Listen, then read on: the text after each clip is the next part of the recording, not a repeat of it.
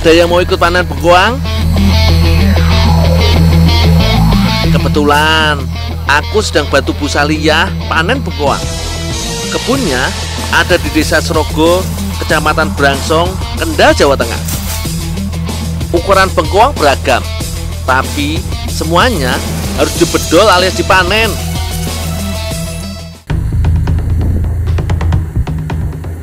Di Indonesia, sentra budidaya bengkoang ada di Jawa Timur, Jawa Tengah, dan sebagian wilayah Sumatera. Bengkoang tumbuh baik di tanah lempung berpasir.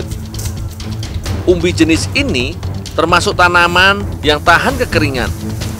Meski begitu, tetap dilakukan penyiraman pada kondisi kekeringan ekstrim.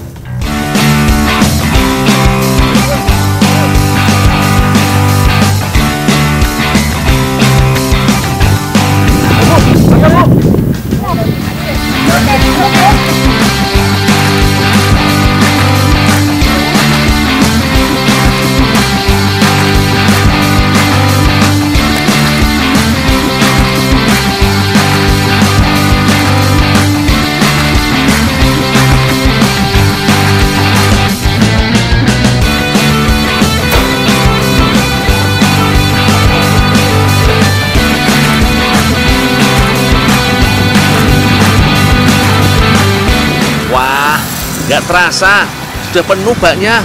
Siap aku antar nih.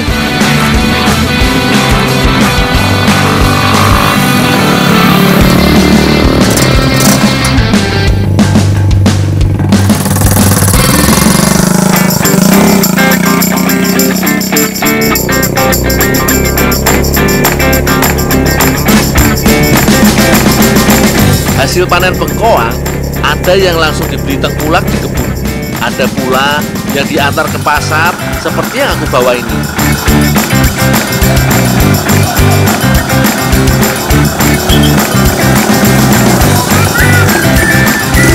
Yuk, antar tuh.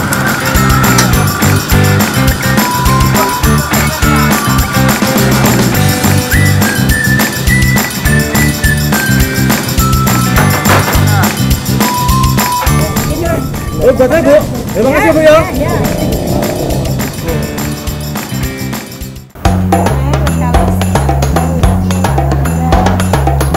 Pas banget, Mbak Ratna dan Mbak Yunita lagi bikin kue nih.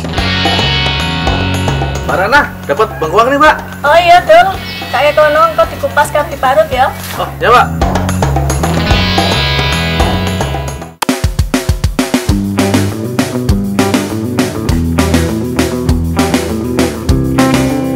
Bengkoang biasanya jadi buah pelengkap rujak yo. Kalau di Singkawang, biasanya bengkoang dijadikan isi kue coipan.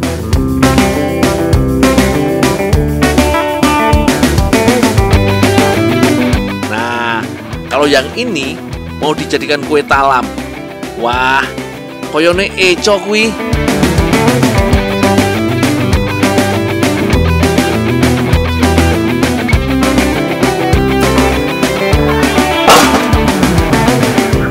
Setelah dikupas, bengkoang harus diparut yo.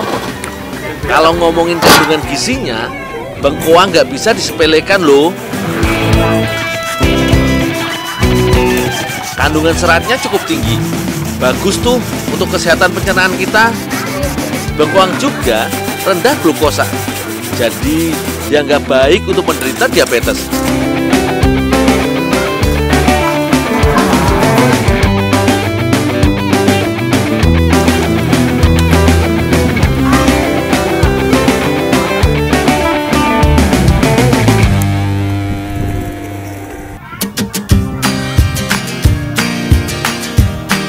Sopo sih yang nggak tahu kue talam?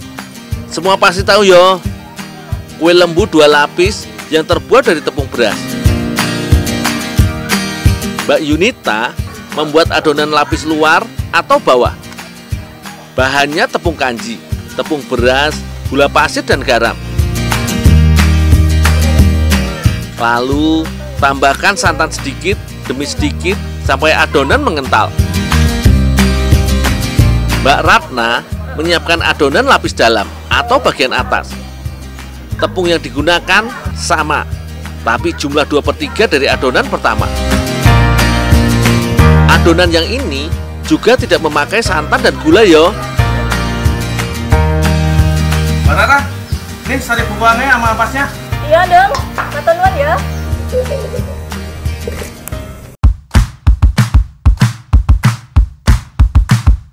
Sebagai gantinya, air perasan bengkoang dipakai untuk mengencerkan adonan kedua. Kalau ampasnya dicampurkan ke adonan pertama. Gunanya untuk memadatkan tekstur adonan. Jadi nanti akan mudah digulung. Oh iya, jangan lupa kasih warna yang menarik yo. Kombinasi warnanya yo bebas sesuka hati aja. Kue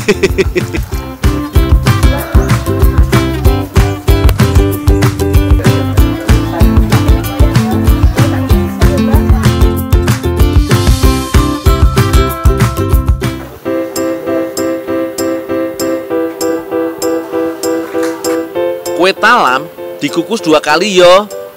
Pengukusan pertama untuk mematangkan adonan lapisan luar. Setidaknya butuh waktu sekitar 15 menitan. Yo, kira-kira sampai permukaan adonan memadat dan tidak berair. Selanjutnya, tuang adonan sampai menutupi seluruh permukaan adonan pertama. Kukus kembali selama 15 menitan.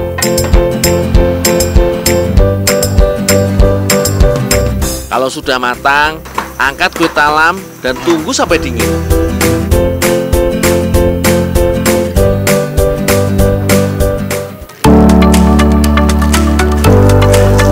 Kue talam tidak bisa digulung dalam kondisi panas.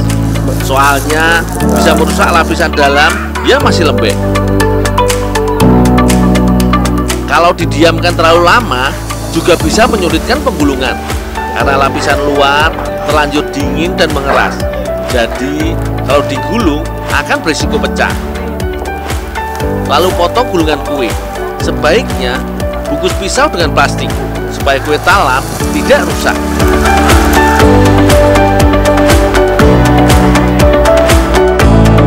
Gimana? Cakep toh kuenya?